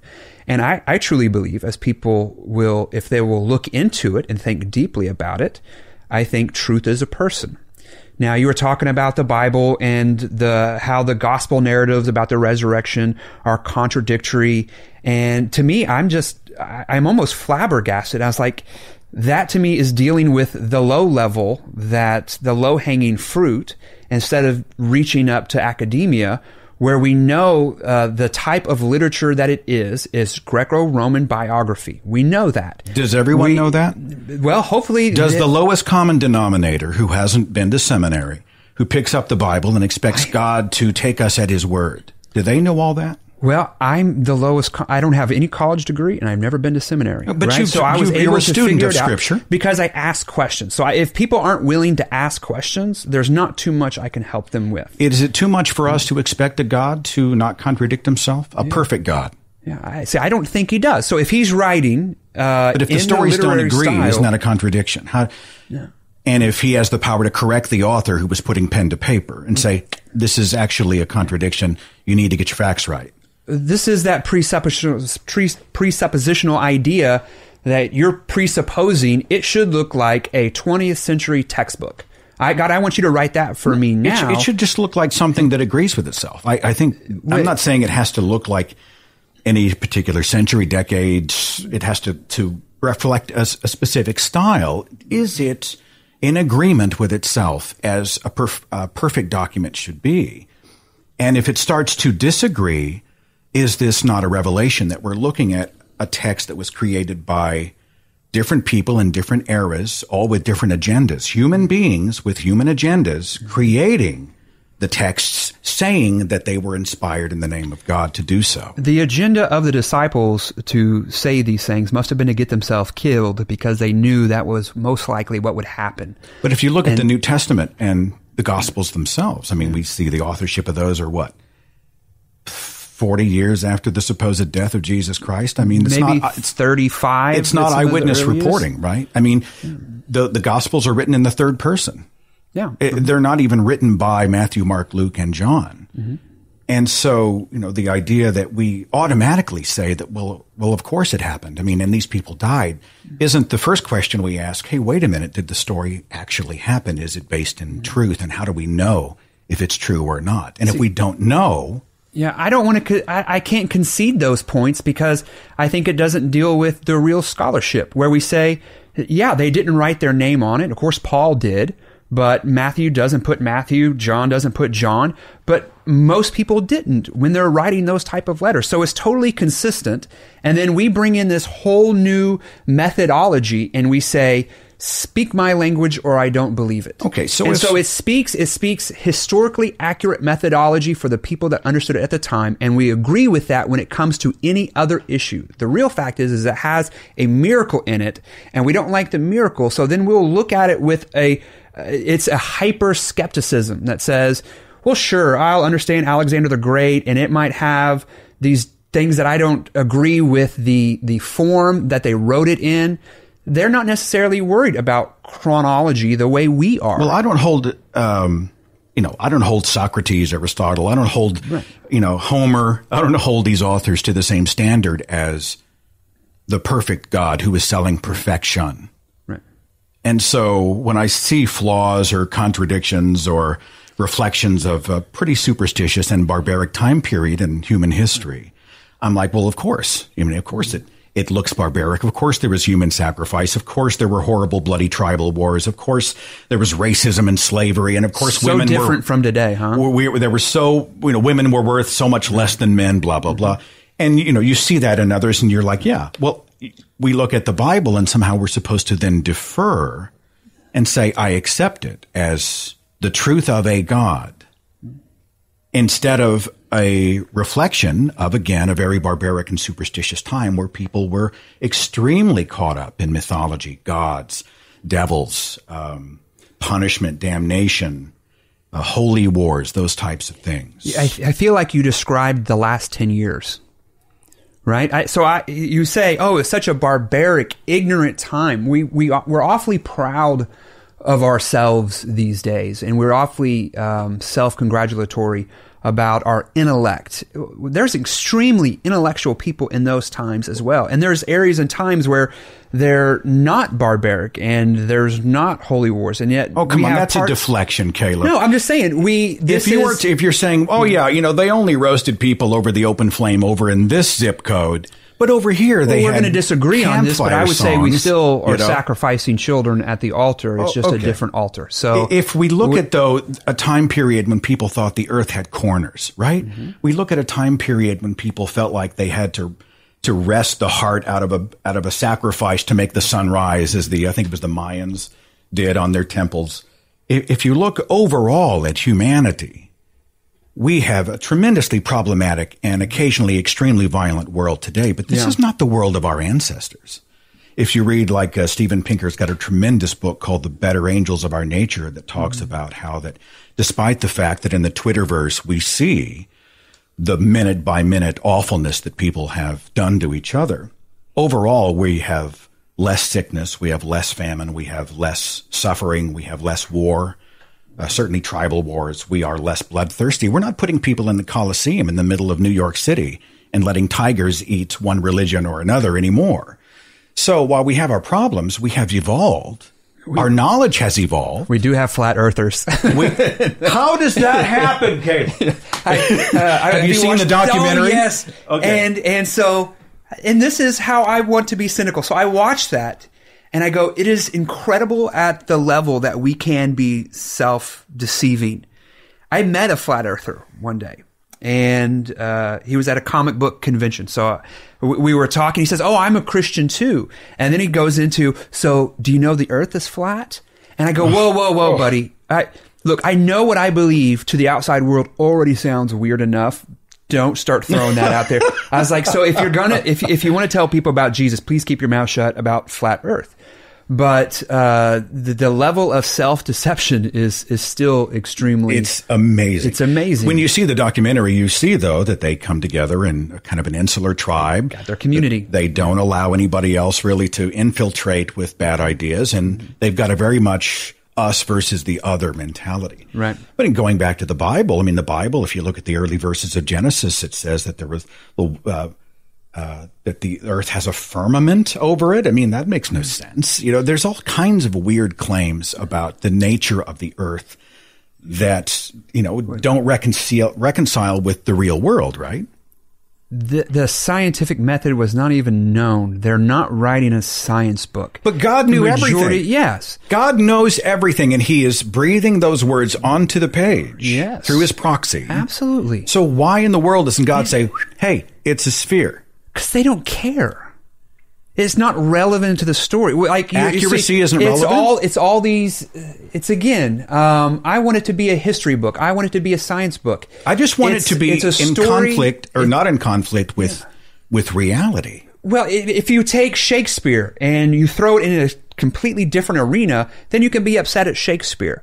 But if Genesis is poetry, Sha- Shakespeare's not not saying he's God, and then I have to pledge my lifelong allegiance to him with an eternal But there's just, consequence. if we want to be intellectually honest, it's understanding the literary form and taking it at that form. I am not taking the You're- Bible as a, merely a work of literature. It is a divinely breathed, perfect instruction manual for living. That's how it's been sold through the ages. It's uh, the term inerrancy is not in Scripture. You are not God concerned at all about is. an errant Bible. I I need to know I, what I'm trying to find out is what is your standard for God's instruction manual? Do you do you think errors from a perfect God make sense? I don't take it literally. I take it literarily. What do which you- means that has so if Genesis is predominantly poetry and it is uh, just saying, "Hey, God created this." It's not saying, "Here's the literal what He did on one day." I don't. You, some people hold to that, And it I don't doesn't necessarily doesn't don't. matter who wrote it. Doesn't matter when it was written, how it was written. The If it, was, foundation, if it was written yesterday, that might matter. the cre- the creation of the book, the found. I mean, mm-hmm. dis- discerning the source of the material. Mm-hmm. Should this not be paramount for us? Who did write it? You know, who certainly wasn't an eyewitness to when the waters were over the surface of the deep and that mm-hmm. God said, "Let there be light." And there was no eyewitness alive at that moment. Um, one of the great questions I've always heard is if God created the sun on the fourth day, but you require the rotation of the earth in relation to the sun to have a day, how had four days already passed? We can get into those kind of questions. But well, those are what I ask people who believe in a young Earth, right? So, Yeah, yeah. I, I, I would say um, the literary forms. I don't think people in your position give enough credence to the level of heavy lifting that goes on in understanding those things accurately. So you- they're not written in a void. And then we want to throw all these things. Say, well, in order for me to believe it, I need this, this, this, this, and this. But we don't do that with other historical documents to say, hey, at least it fits the form. Well, whether we believe whether it happened or not, it's historically accurate in the way they would have understood it. But So there are no corroborating history books that have other eyewitnesses saying that God said, let there be light. I mean, you've got the Bible, so then you're quoting the Bible to prove the Bible, which is kind of like quoting the Quran to prove the Quran or the Vedas to prove the Vedas. I mean, what other book do we use that suppose supposedly proves itself? That becomes a little bit problematic. Shouldn't we seek outside corroboration that this is really uh, the truth? Well, I, I don't disqualify the Bible as a historical book, so I don't give that because it's written in the context of other historical documents. And whose so author you other, don't realize, whose, there- whose author you don't know. That's Right. Mm-hmm. so it's a history book, and we don't know who wrote it. We can't source it, but it's we're not a, we're not hundred percent certain about certain books because they didn't put their name on it, but we have good guesses, strong leanings that there's no reason to doubt the historicity of the claims made about. And, and you, if like you go to a seminary, um, I, I know a few professors. These are things that they talk about, but it, it's not like a destructive thing to the faith to go, oh well, we don't know who wrote it, so we throw it out. And so that seems to be more of an aha on your No, side. no, I, I don't think it's an. I don't think it's throw it out. It's how do I, as a neutral observer, try to verify the claims made if it's only written in the Bible, and it's one of many books that have creation stories that involve Mm-hmm. supernatural things. Of course, we can speak to Islam and and uh, Hinduism and all those. If I'm a neutral observer, how do I not then take the Quran's origin story or the Vedas origin story and say, well, you know, it's it's the history book for my religion and therefore it is true. As a neutral observer, how would I tell the difference? How would I choose? Right, uh, as we said before, the myth neutrality, but that's a side point. Uh, you know for, what for I me, mean. okay, so the um, the historicity of Jesus. If Jesus was who he said he was, then I think that would make a strong argument for the validity of the rest of Scripture. If Jesus actually was and did who he said he was, and you you kind of mentioned that you might be off, you're not in the mythicism camp, but I don't know. I, I just I mean, we've know. got we know that Jesus existed. The we we How can know, know that. that? How do you know? Tacitus, Pliny the Younger, Josephus. So we have non Christian historians writing not too far afterwards who talk about Jesus, right? I know so, Ehrman's a Jesus literalist or historicist, um, but you know we're also talking about a, a time when everybody had their gods and their gods bigger than your god. My dad can beat up your dad, kind of gods.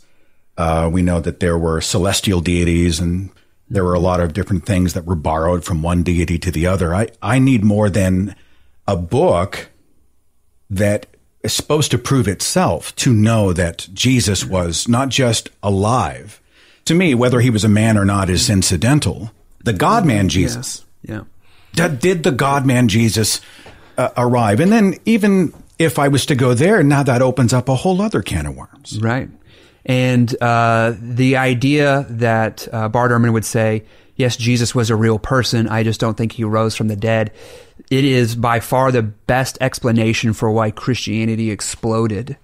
Uh, because I'm going to take Matthew, Mark, Luke, and John, written as they are, in the literary form as they are, as interviewing eyewitnesses, talking with people who are disciples of John, who have firsthand experience with all this information, saying, We saw a dead guy come back to life.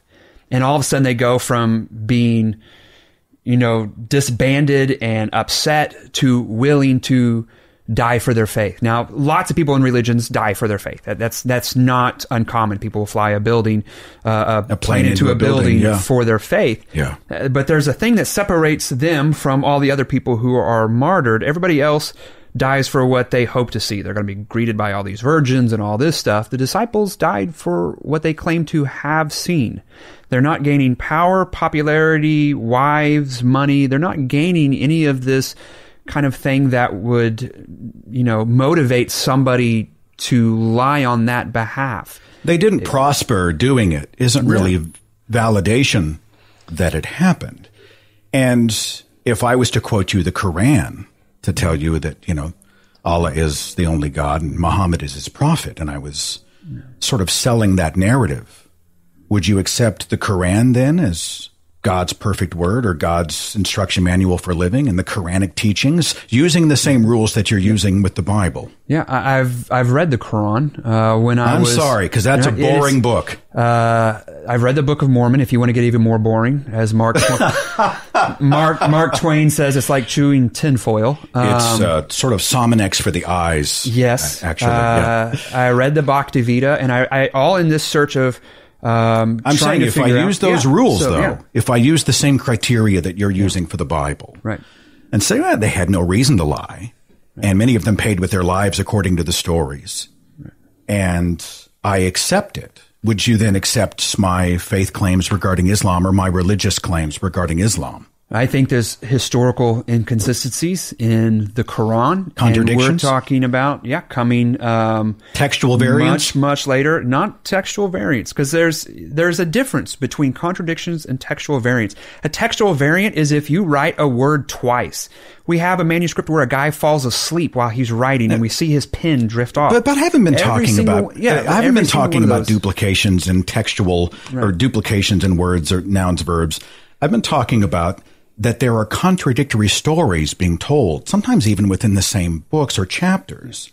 Those aren't textual variants; they are changes in a story to alter the outcome of the story in a book that is supposed to be perfect. And so, I'm asking, you know, with your acceptance of the Bible if I was a neutral observer and, and someone came to me and they were pitching the Quran or the Vedas using your criteria, what do you think? I mean, how would I tell the difference? How would I know which one to hold on to?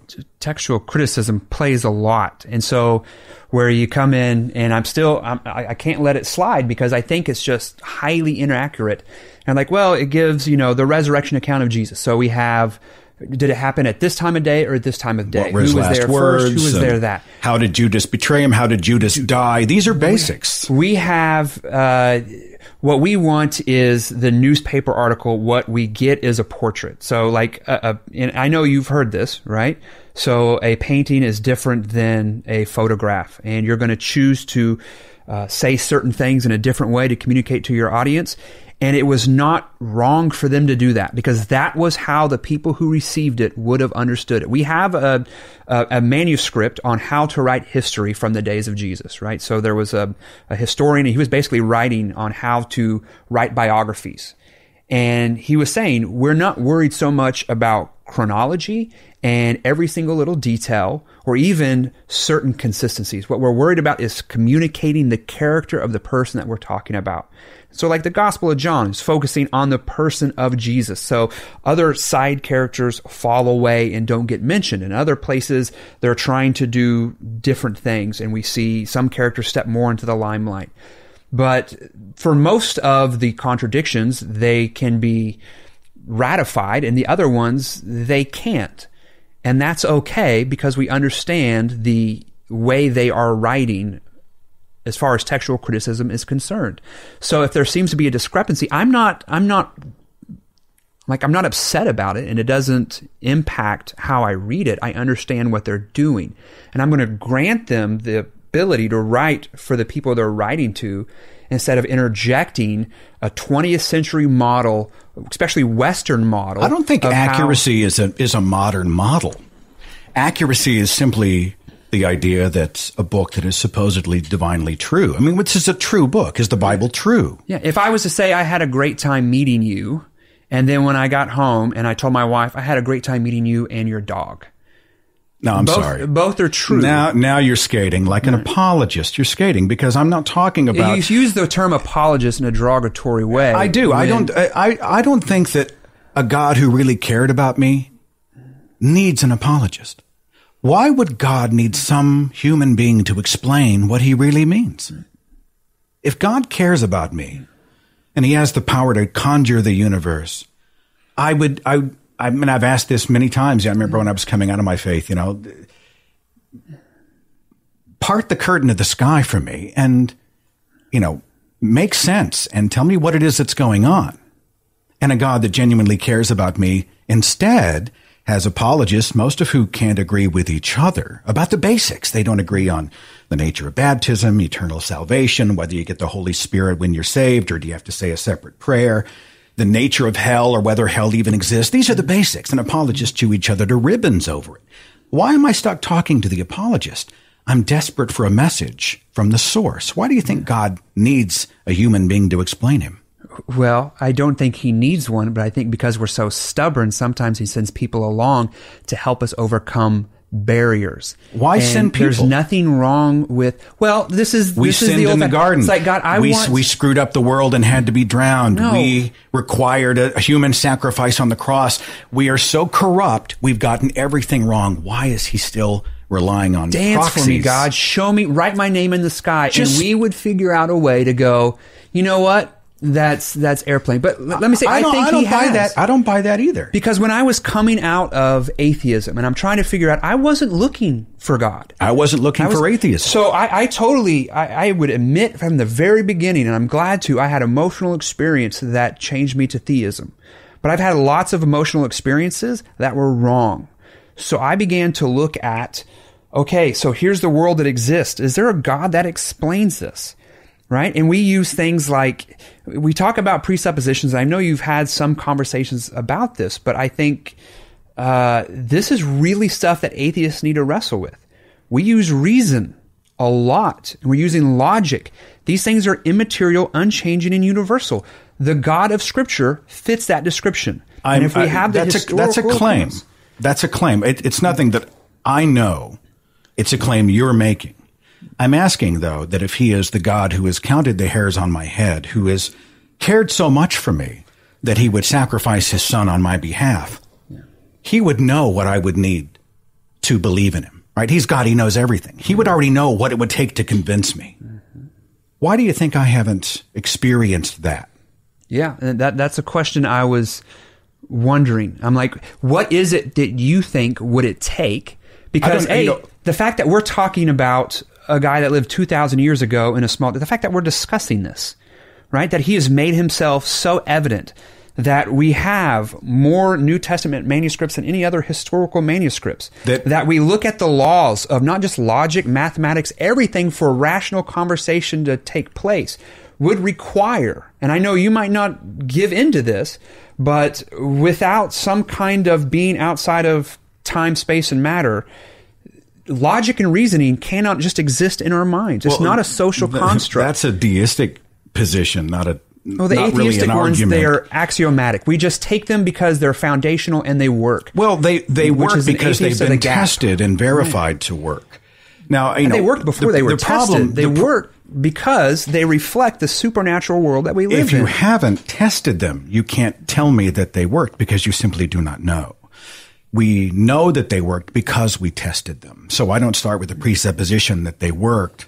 I think you start with experimentation. You start by working it out. And within How do the you reality, test logic without logic? See, we presuppose logic in order to even have a rational discussion. it's true that we can't really solve solve the problem of what uh, my friend Matt Dillahunty likes to call hard solipsism when he's speaking about this. Yes. How can we know something beyond our own minds? And the truth is is that it's it is difficult for us because we can't prove that we're not all in the matrix. We're not all plugged into the matrix and this is all a simulation and the philosophers will have a field day with that. But I can test the rules of the reality that I live in and I know that this plus this equals this, and I know that this measures to this, and this reacts this way against this. And that's where we start. We experiment within the reality that we are in. And that's the best we've got. But to then take the leap that the reality exists because it was conjured by what is essentially a divine wizard, if you will, a, a deity, a God figure who has a proper name, who then wants a personal relationship with me personally. Out of all the hundreds of billions of galaxies in the universe, he picked me.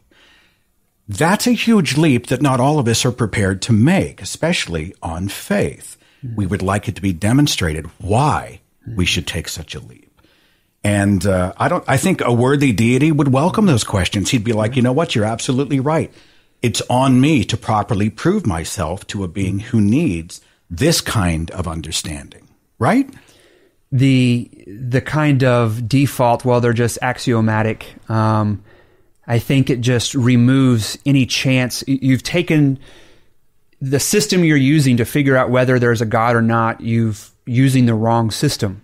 You're not even allowing to say, well, I don't know how reason. I don't even know if I exist. And I, I didn't can't- say that. Well, like that, we could be a brain in a vat, and those conversations. I always, I'm I'm sure you find those boring. It's like, how do we They're a know? little tedious, How do we know we're not really here? I'm like, well, who am I talking to? Right? I think we operate as as entities in the reality that we live in. And I believe that, you know, we are able to operate, act, and react in a natural world. Right. You and I are sitting across from each other. I have no reason to think that we aren't. Right. I have no reason to think that we are a brain in a vat, that we're plugged into the matrix. I operate based on Faith. the is it faith if I reach over and shake your hand? It could be. We have uh, contact.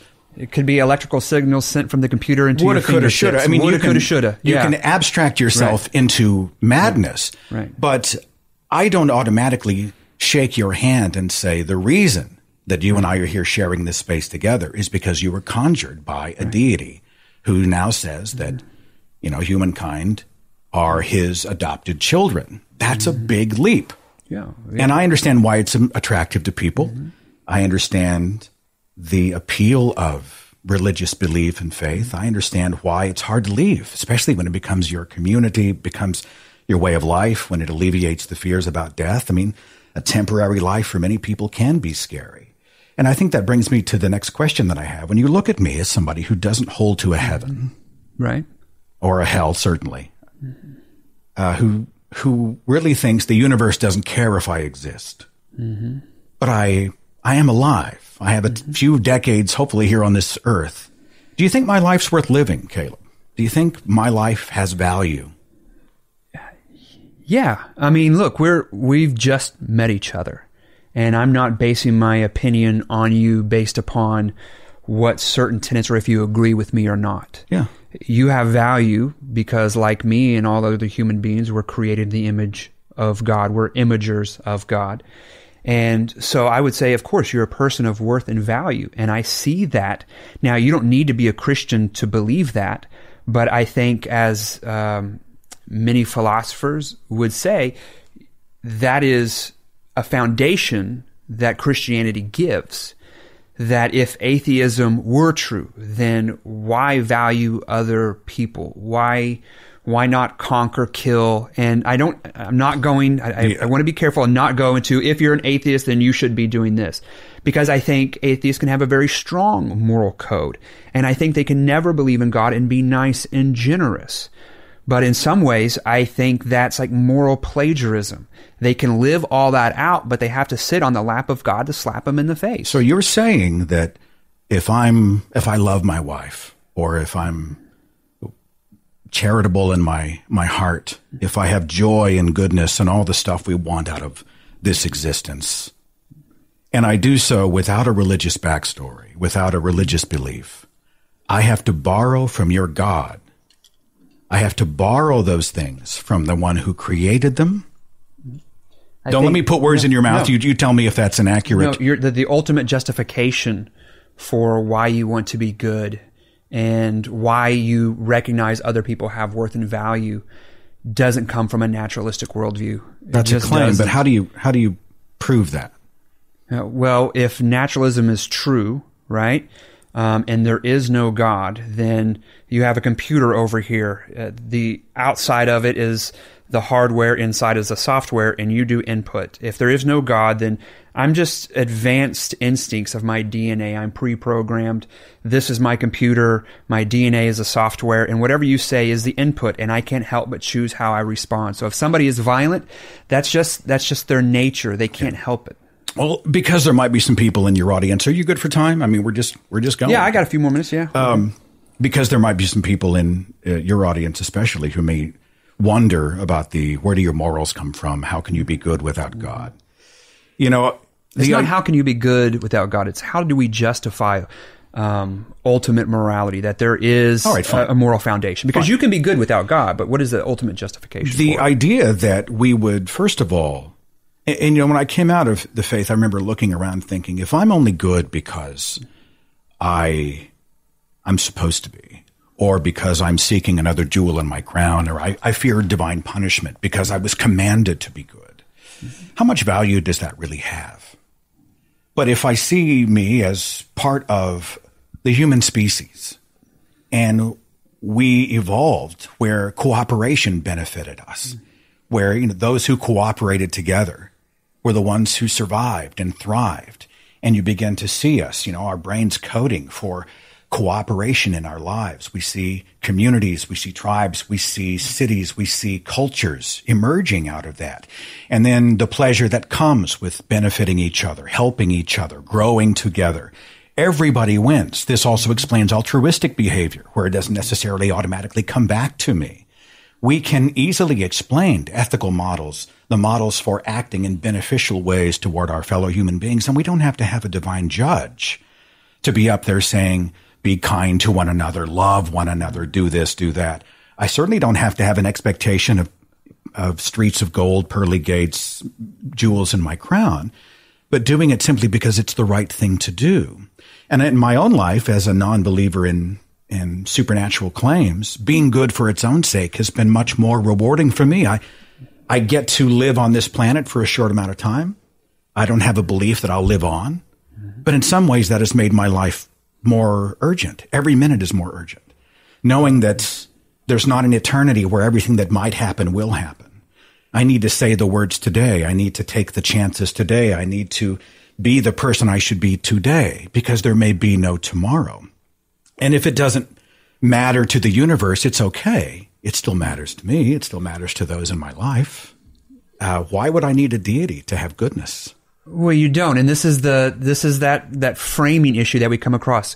Why do I need a God to? And I don't want to put words in your mouth, but I can be good without, and I don't need to have this fear of hell or the reward of heaven to be good. That's never why Scripture like tells us foundationally to be good. It just says you're created in the image of God. Okay. You're you're a human being.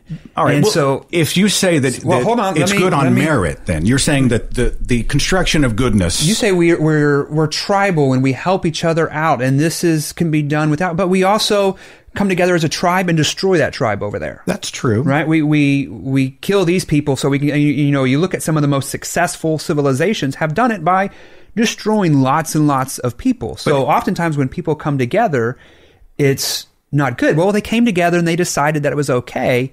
And so I guess that was a moral thing to do. There's a real moral dilemma when it comes to atheism. No, I, I think the challenges that, that you're speaking to relate back to tribes. And if you look at the, especially the Old Testament, you have hordes of, you have rivers of blood with one of God's army slaughtering the others and not just the soldiers, slaughtering their wives, their children, their infants, their unborn children in the name of goodness, in the name of justice, in God's name. And I don't think that that is a reflection on God because I don't buy that that God exists. I'm not convinced. I think we're looking at a text written in a superstitious time in the relatively early evolution of civilization where human beings were still coming out of their primitive selves. I mean, we're much better today at understanding uh, why we do what we do, how the human brain works, why we are often tribal and territorial, the things that protected us on the African savannah, much of the savagery even that helped protect us out there that has no place in 21st century living. And we have come to that understanding and we become much better for it. We have evolved out of our primitive ancestry. And, you know, I think religions reflect a time in human history when we killed each other for all manner of reasons. And uh, we've evolved past those. That's why we don't have the Colosseums. That's why we're not seeing God's armies, you know, trotting across the United States, slaughtering one church, slaughtering another. It doesn't happen anymore. I would say a lot of the benefits of what we experience are due to Christianity. Universities, you talk about the Ivy League schools that started as seminaries, the printing press, education, the rights of women, the rights of people of different colors. Did, did God from- make those, or did human beings make those in the name of God? These come from the ideals presented in scripture, right? Like we made biblical arguments against slavery. One of the things when I was an atheist, I used to say, God, you know, he ordered the slaughtering of the Canaanites and he was for slavery. And then I actually took 10 minutes to look into that. And I go, oh no, that's hyperbolic language because then we see what happens to the Canaanites right afterward that they are not look, slaughtered. You know, when, when we sang the song as children, mm. that Joshua fought the battle of Jericho and the walls came a tumbling down, it didn't tell us kids what happened after the walls came down. Right. When the soldiers went in and executed pregnant mothers in the name of God. yeah. That's in the Bible. It's for anybody who cares to look. Yeah, there's a great book, Is God a Moral Monster? If you look at me and you say, well, God was using the culture and sort of the societal temperature of those times to best teach a lesson in his name in that particular style because that time period would only hear that kind of message. You understand how it sounds. I, I was using that as a reference to literary forms. Um, No, you were talking know, about, Abraham, Isaac. Yeah, and that he's using that language, but you notice he didn't actually uh, kill Isaac. And there are some, I'm t- but what about the pregnant mothers? yeah, there's there's some really atrocious things that Christians have to wrestle with. You say that the Bible is not a slavery book, but the Bible not only says that you can own slaves in Exodus chapter 21, but it gives you instructions as to how hard you can beat your slave. Seth, this is No, no, no. is- if yeah. the Bible says you can beat your slave to the point where as long as he gets up off the ground within 48 hours, you haven't broken the law. This is something that a moral creature must must approach honestly. How do you approach something like that? Well, there are not laws about um, you should have slaves and you should beat them, which is what atheists would often say. No, no, There- no, no, no. It gives instructions to masters, though, and how they can treat other human beings as property, including physical force. Do you think that a moral deity would is- ever allow you to own and beat another human being as property? We have laws in our society that if somebody commits a crime, right, they're punished. I'm not talking about Yeah, crime. no, I'm I'm talking. well, I'm not that's what- talking about uh, always- Guantanamo. I'm talking about the book of Exodus. Yeah, Exodus 21. I, I read it like three days ago. Okay. Okay. And all it is is this laying out here are these certain laws. If this person um, beats their slave, and it doesn't say it's a good thing, it says if this crime happens, here's the punishment to the owner who did it. If the guy dies instantly, then it was first degree murder. If he doesn't, then it wasn't first degree murder, and so he shouldn't be punished for first degree murder. So it was all about protecting the slaves from evil slave Oh. owners. And if you read, if you read, This is a such a dance. Uh, no, it's look, not. I- It's, it's historically accurate. if- the if way we we, use slavery is not the way you use slavery. Indentured servants Indentured don't get beaten to the point where they're unconscious on the ground for No, they 48 shouldn't. hours. That's why the Bible says. But the Bible did not punish. Punish the master. I, I think the problem is is that the Bible didn't say punish him if he does it. It said ah, if he gets up within two days, you're okay. I mean, the Bible has directions, God's law, ordering rape victims to marry their rapist as long as the father gets, I think, 50 shekels. There were all of these sort of very barbaric stories embedded in the Bible that don't get a lot of face time at Sunday go to meeting for obvious reasons. But if we look at them and we look at the Bible as a whole, what we see is is a reflection of a superstitious, ignorant, and primitive time in human history. Mm-hmm. And a book that came out of those times that reflects the violence, the barbarism, and the ignorance about our world, the ignorance about the universe. And it's been around a long time. Yes, there's a lot of different copies of it, but a well propagated myth is still a myth. Even if it was true, I, as a moral creature, someone who has an evolved sense of morality, I couldn't hold to a deity that allowed someone to own another human being. I couldn't hold to a deity that allowed or commanded a woman to marry her rapist. I couldn't uh, hold to a deity that would accept a human sacrifice or ask a father to kill his son. All of those things for me, even if that stuff is true, and I don't hold that it's remotely so, I, as a moral creature, must reject it.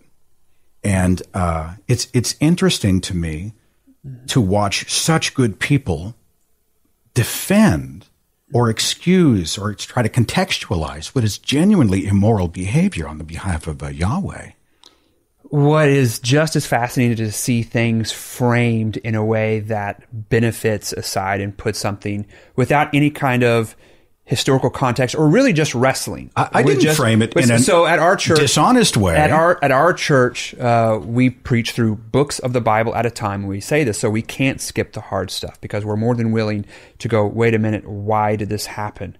And like, if I wanted to go into every single bit by bit, point by point, right, we're going to be here for a while. yeah, that's But- true. Right, right. Like so, Yeah. it's it's the the. sh- I'm not a fan of the shotgun approach, right? Of like That we call it a gish gallop, Here's yeah, here's yeah. 80 different evils in the Bible, and I. I, Well, I have stick with slavery if you them. want. I mean, I'm just trying to sort of pin down moral creatures who are embracing such a, a heinous thing. Right. Um, well, I think enough has been said on the slavery issue. I don't know if your listeners are familiar with the Christian understanding of it, but we've kind of known what indentured servitude was for a while. It's so people who had no money, instead of dying of starvation, could freely enter into uh, a contract, and by seven years, if they hadn't paid it off, they had to be let go. And then there were all these kind of different things, like while they are with you, they have to be treated as an equal. Well, right. I've- so the equality of slavery goes back to the Old Testament, radical for its time. Nobody else did that. Slaves were property unless Judaism happened to be the place that you entered into indentured servitude. It gave more favor and made you as equal. It was the way to get an education. It was a way to get out of poverty. It was all these things. You don't see this as a way to rationalize the owning of another human being as property. Uh, Well, we Uh, uh, because we're not talking we have about people that are beating- slaves of credit card we're, debt. We're right? not talking they about don't pay. They can be thrown We're in not jail talking by about the government. beating right? So, indentured yeah. servants. We're not Yeah. talking about devaluing female indentured servants to be half of what the male indentured servants are worth. We're not talking about the auctioning off, Mm-hmm. selling and buying of human beings as indentured servants. I mean, we're talking about human beings who were considered property by another, slavery, and physical force against those slaves. And and it's uh, I think it's something you and I might agree on that people I think who have questions or would like to genuinely explore this should do so without fear of judgment from on high. Correct. That a worthy God would never say you're in sin because you doubt or you're weak. And I always encourage people to go back from square one and, and read the Bible. Start at Genesis mm-hmm. 1 1 and pour through that sucker and then do it again. Mm-hmm. And I'll make this guarantee to you, and I'm absolutely sincere, whether you believe me or not, Pastor Moore, that if God showed up tomorrow, I would want to know that. Like if mm-hmm. God shows up, if God is real, if God exists in whoever she is, I would want to know that. Right. And I would like to think I would be prepared to change my position based on that knowledge. And I'll make that guarantee to you. If if there is a really good reason. Now, allegiance to following that deity, that speaks to are you are you good? Right. Do you deserve allegiance and worship? But to believe in a deity, just give me. I remember there was you mentioned Ken Ham. There was a debate with uh, Bill Nye and Ken Ham at the uh, Creation It was hard to watch. It was impossible to watch. Yeah. And at the very end, they asked both people. They said, "What would it take to get you to change your mind?" Mm-hmm. Ken Ham was just he just couldn't answer the question because he'll never he he never will allow that his mind might be changed. And they asked Bill Nye, "What would you ever change your mind?" And he said, "One piece of evidence." And I'll make that guarantee. A good piece of evidence will help me to change my mind.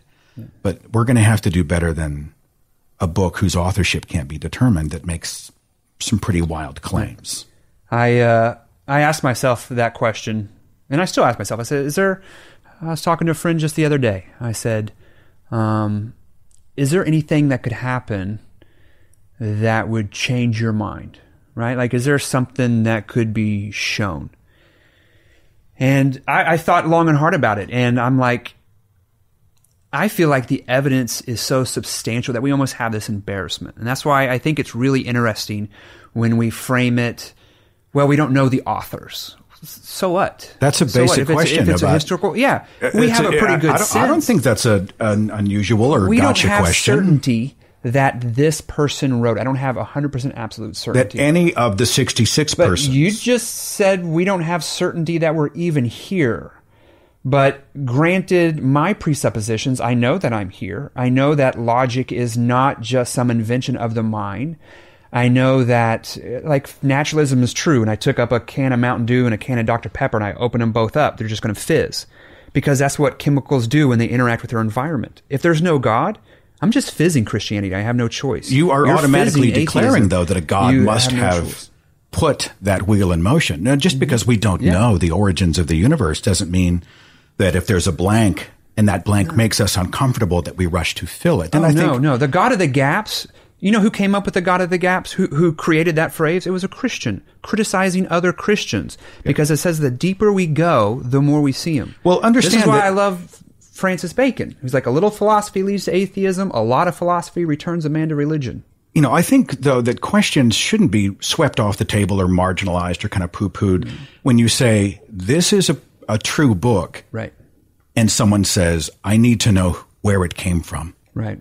I think that's a valid question. I mean, don't, I so, do, and I don't. I don't think. Uh, I think maybe some lay people might sweep that under the rug, but I think a lot of people I think sweep it under the academically, people are more than willing to wrestle. Like, Why would they have to I- wrestle with? i- i- think about it. I mean, eternity is in the balance. Do you believe in hell? yeah. Uh-huh. What uh, fiery hell? Uh, uh, uh, annihilation? What, what's your hell look like? I don't know. I'm. I'm uh, kind of in between on Okay. where I'm thinking about. All right, so let's say hell, however it is. Let's say it's a place where they just play nothing but country. I- I- when I say, let me clarify. I'm not sure if it's eternal or not. I, I lean that way, but Fire, um, burning. uh, figurative, figurative language. Okay, all right, So, fine. the So- absence of God is what hell is. Eternity is in the balance. Right. Why do you think God would not make his message digestible and understandable to the lowest common denominator, the one who has the le- the least capacity for understanding? The idea that you would have to have scholarship or that you would have to go through and jump through a bunch of hoops. I mean, you know, my child is in a burning building. Do I rush in and scoop up the child?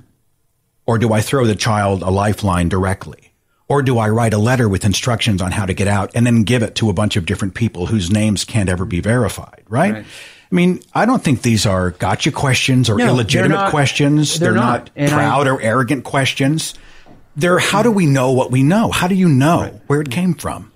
And I think he has made himself so known. There's a reason that a lot of people have this strong faith, but they don't need scholarship. I think the scholarship are for people who might be skeptical, possibly, I don't want to say hyper skeptical, but uh, skeptical to a fault, or even if there's a rational reason to believe it and that this worldview makes sense and is consistent, you go, yeah, but it's not what I need. It's not what I want. I want God to do this. And I'm like, I feel like he's made himself unbelievably known. More books, poems, songs, paintings have been done about the person Jesus than anybody else. Right? The Bible is still the number one selling book and the most shoplifted. That, that, that's So- an argument from so- popularity, No, though. It's so not I'm an argument saying- from validity. so he's he's this little carpenter has evaded the entire world with a singular message, though where I might disagree with other apologists on infant baptism or things like that. The core is unbelievably strong. Like we agree on like these essentials. That's what makes somebody a Christian, and the number of them is incredible. So, as Romans says, like you know, I know you know this. You know, you see the world around you. Look out, God's invisible nature has made Himself known. I go, yeah, laws of nature. We all see that. Uh, Look at the trees kind of thing? look or- at the tree. You know, yeah, if, absolutely. that's- and that's, and I know for you because that hyper skepticism, but great intellectual minds who have created the science that we now use to try to say, see, we don't need God anymore, was because athe- there there was no need for atheists to even begin to look into science because there was no reason that tomorrow was even oh, promised. that's there was not even. no I mean, you think about the idea of discovery of existence, life, the earth, the cosmos didn't disappear when people rejected faith. I mean, humans' desire for discovery. exploded among Christians and theologians and There are some philosophers. Christian scientists and Christian philosophers, Christian mm-hmm. authors. There are Christians in all shapes and stripes in society. Mm-hmm. But the idea that it all becomes sort of a mute, a, a moot mm-hmm. exercise, it's all void, it's all pointless, uh, and that scientists who, I mean, there's a, a pretty large amount of secularist, non-religious people in science. The idea that they aren't passionately interested in discovery and learning and and finding out what is true, testing, retesting. I mean, those those people are very interested in trying to learn more tomorrow, to know more tomorrow than we know today. Of course. And so I think, you know, to be fair to them, But no, it, it- it's uh, the beginning of science. It could have happened at any time in culture. what could have happened?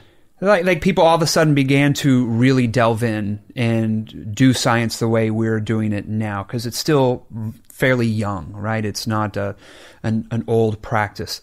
Um, comes about through many Christian uh, thinkers who were looking into it because they believed there was uniformity to nature and they wanted to get to know God better. And even Einstein, who was not a Christian, and uh, I know some people would say he was an atheist, hated the idea of being called an atheist. He believed there was some kind of something or other. He didn't think it was personal, he- yeah, but he, he, was. said, "I do not believe in a personal God." Yeah, he doesn't Yeah. think it's personal, but he believes he's like, man, if you understand these laws, if you understand all this, there's got to be something. And he I, viewed the idea of even being put in the same group as an atheist as ridiculous because he's like, look, look at all of this that governs. There has to be a hand behind it. He just doesn't reach out and grab my hand. I don't know. And I, I- would make the argument that he's done that through Jesus, that that he has made himself so well known. We just tend to be kind of stubborn. And so you say, what would it take for you?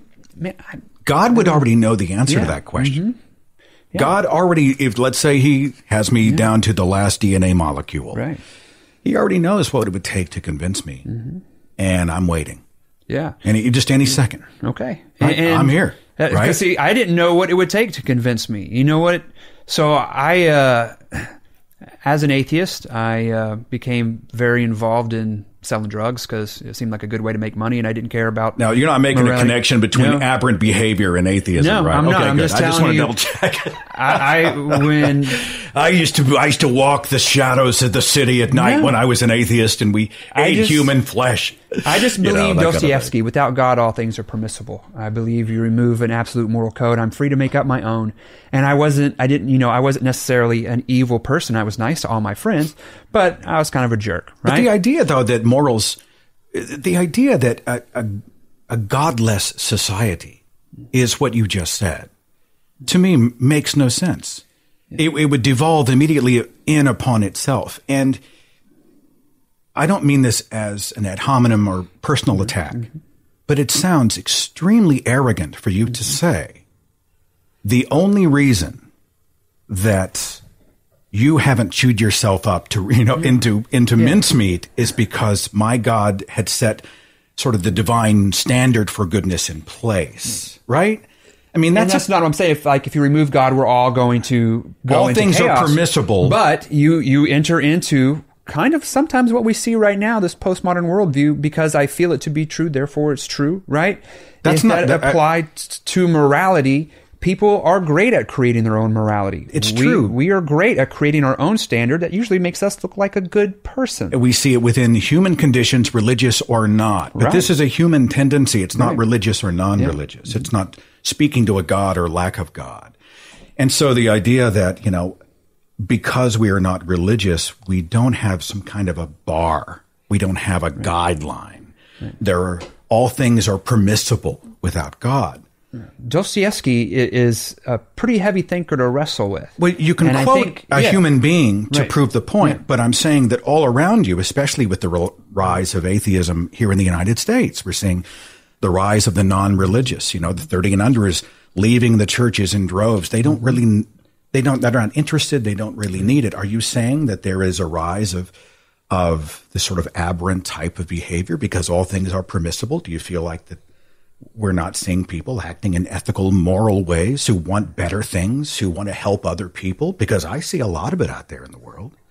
And many of these people, a great many people of these, have nothing to do with Christianity. So for you to say, without essentially what you're saying is, without my God, all things are permissible. Yeah, you you have no ultimate justification, is what Dostoevsky is saying.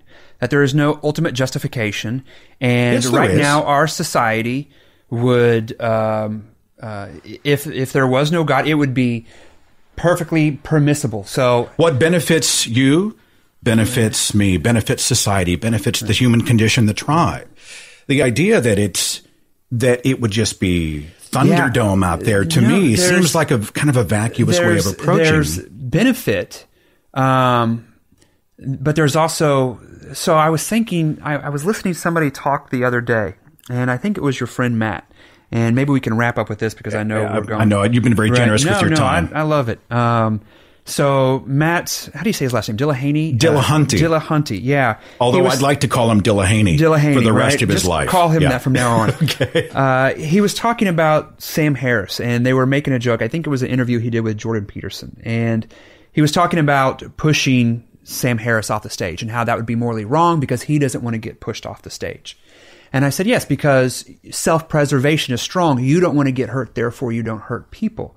I says, but what if there was a beam that was about to fall down from the ceiling and you didn't have time to warn him? And if you did warn him, he would just look up and see his death coming because the moral system that he has, or that naturalism would say, self preservation is one of the highest values, you would just go, oh, this stinks.